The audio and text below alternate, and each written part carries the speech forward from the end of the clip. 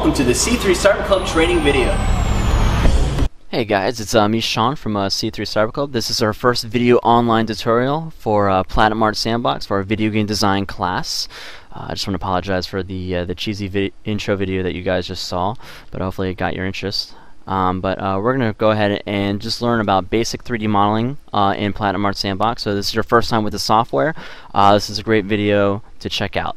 So let's get started. Um, the first thing we want to do is we want to actually get out of this uh, level right here. This is one of the default levels that uh, Platinum Art Sandbox starts you out with, but we're just going to make a brand new one from scratch. So what I'm going to do is go ahead and just press E on my keyboard. Uh, this brings up the edit mode and it gives us a lot of different options. Uh, so we're going to go ahead and just press escape on your keyboard.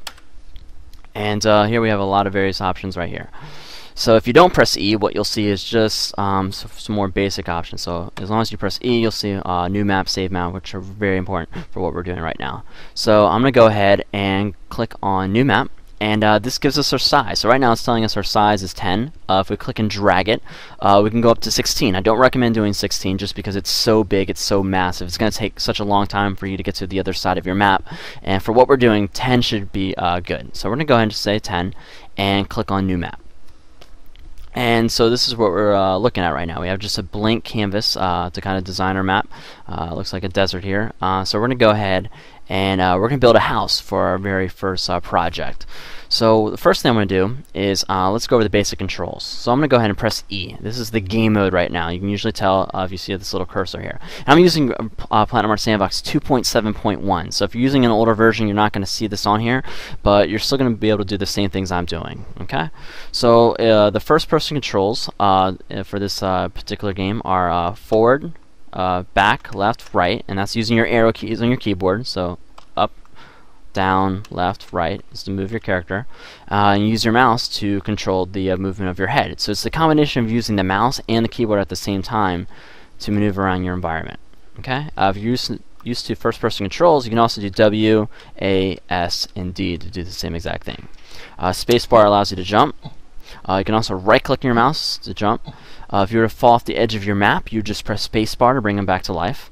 Uh, you can use your scroll wheel, scroll wheel here uh, to kind of zoom in, zoom out. And uh, that's just sort of the basic controls right there. So uh, let's get into the edit mode. So we press E. Uh, this brings up our mode. This is how we basically design our game. Uh, we're always going to be in this mode. This is how you can change the geometry, entities, texturing, particles, all sorts of really cool stuff.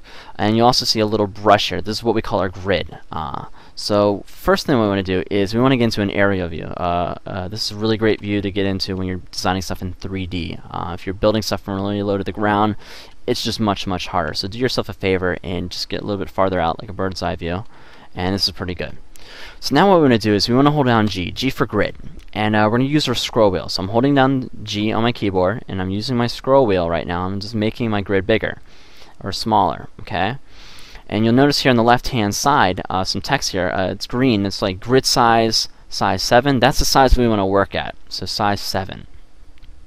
So the first thing I want to do is I'm going to click and drag. I'm going to left click on my mouse and I'm going to make my house three grids wide and two grids long, just like that.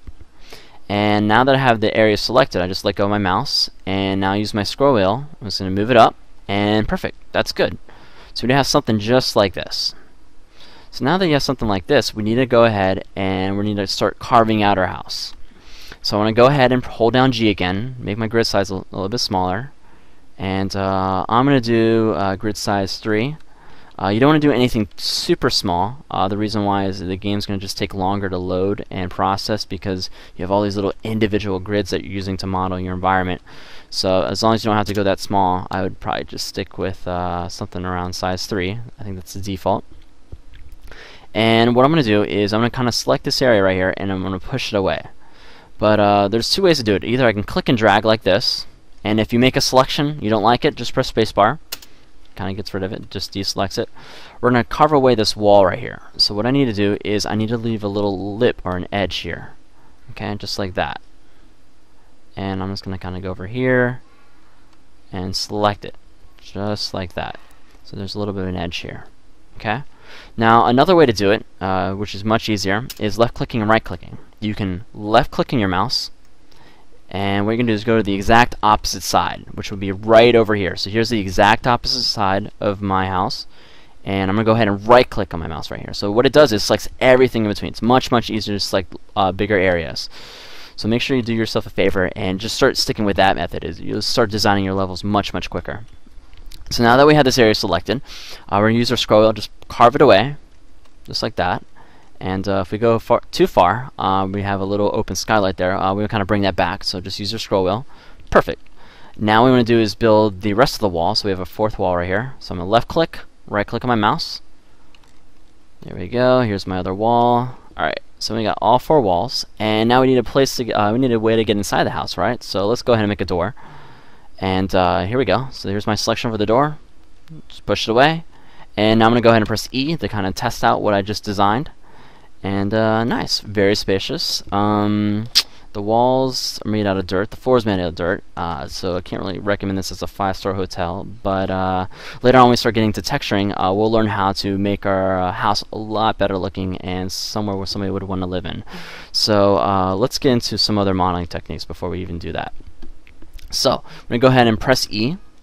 And uh, I'm going to go ahead and make some windows here. Add some light. Here we go. Very good. And maybe I'll just put one right up here just for some extra light. Okay, that's good. Alright, so now I got some windows, I got a door here. Um, now I'm going to make the roof of my house. So the way to make the roof is we're going to go ahead and learn a brand new tool. Uh, first of all, we're going to make our grid size uh, back to size 7. So you always want to make sure you remember that grid size. Uh, keep it in the back of your head because it's going to come in handy uh, when you need to make adjustments. So what I'm going to do is I'm going to go ahead and just push this up just like that. And I'm going to go ahead and select all of these. Okay. Now, what we're going to do is push in what we call the vertices, so these corners right here, so we can make sort of an edge slope, so we don't have just a standard box. So the way to do that is we hold down Q on our keyboard, and uh, we're going to use our scroll wheel. So the first thing we're going to do is just kind of look here in the corner, the vertice or the edge uh, that we're going to push in. So I'm going to go ahead and just look at it, use my scroll wheel, and I'm just slowly pushing it back, just like that. So you push it back all the way. There we go. So that's one side. You notice it did it to everything else that was selected. So if you have multiple areas selected, it's going to push everything back at the same time. So we'll do the same thing on the other side. Push this away. So now we have a perfectly nice sloped edge. Pretty sweet. Now we'll do the same thing over here. So I'm going to go ahead and build up this wall. And it looks like a little bit have extra room right here. We'll get rid of that later on. And uh, I'm going to go ahead and select this side. Now I'm going to go ahead and hold down Q, push away this corner, push that away this corner, and now got a perfectly nice smooth uh, roof here. And uh, I'm just going to kind of get rid of my uh, wall here. I don't really need this right now. Let's go ahead and just select that. Pushed away. We're going to kind of build our wall right here. So everything's really nice and even. Perfect. Okay, so I go to edit mode, or I'm actually in game mode right now. looks like things are looking pretty good. Alright, now I want to start maybe making uh, some mountains outside here, out of my house. So this is another modeling technique. So what I'm going to do is I'm going to go ahead and just press H on my keyboard. Uh, you'll notice that my grid size turns green. Uh, that means we're in height map mode right now. So I can just go ahead, uh, and I'm not going to even select any uh, area. I'm just going to go ahead and use my scroll wheel, and I'm just sort of painting directly onto the terrain. So you're just painting where you want mountains at. Or I can push them down and make like a ditch. It's all up to you. Now these are kind of small, and it's going to take me forever just to really make mountains. So what I can do is uh, I can make my grid size even bigger. So depending on the size of your grid will also affect the size of your mountains. So there we go, much, much bigger. There we go. Now, Oops, now it looks like I made a mistake here. It looks like my mountain went right into my house. Uh, it's not very good. So what we need to do is we need to undo that. So we can press Z to undo, and uh, you can keep pressing Z. I think it saves about 30 steps or so.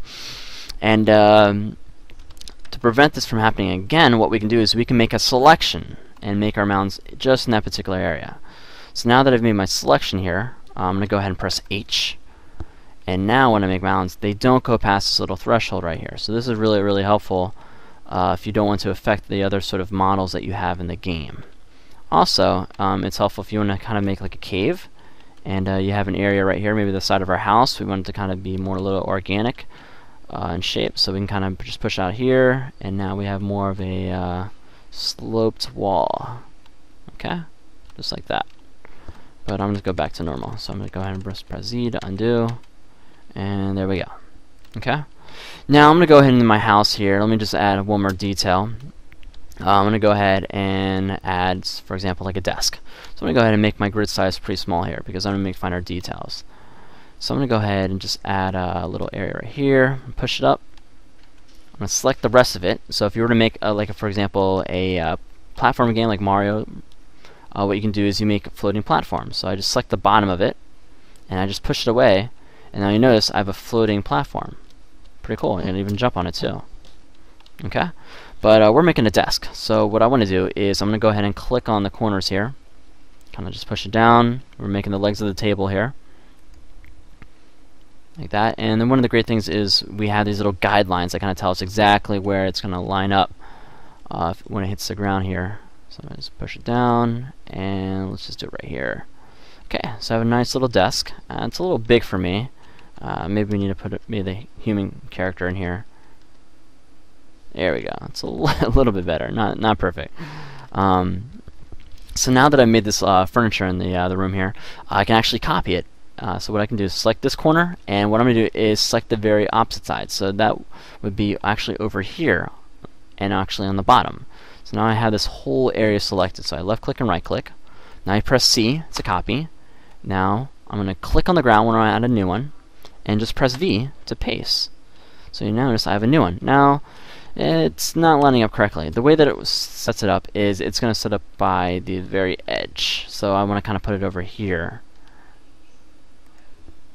There we go. It's a bit farther away. Perfect. So there you go. We got uh, copy paste. Um, we know how to change our grid size. We know how to push in our vertices. And last step is going into pushing our faces.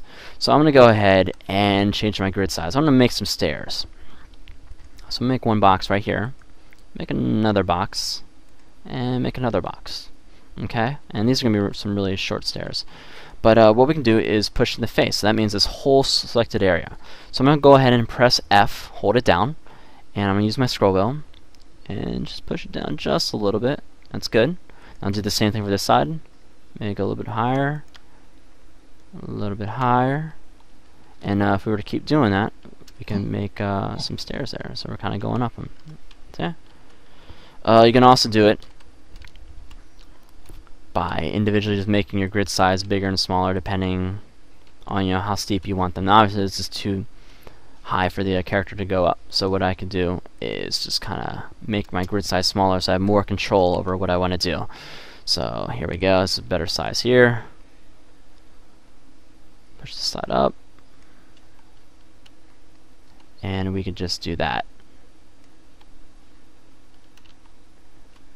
So there you go. Okay, and we can add a loft if we want to. We can add a lot of different things for our house here. But I'll let you guys sort of figure that out as you guys play around with the software. So that is our first video online tutorial. Uh, if you guys have any questions, want to check out some more stuff, you can visit our website at c3cyberclub.com. Uh, you can also go to uh, Platinum Arts, uh, their website. They have some really great tutorials, some more in-depth stuff. So definitely check it out. And uh, hopefully you guys learned something, and uh, hopefully you see some of our other online video tutorials. All right, take it easy. Bye-bye.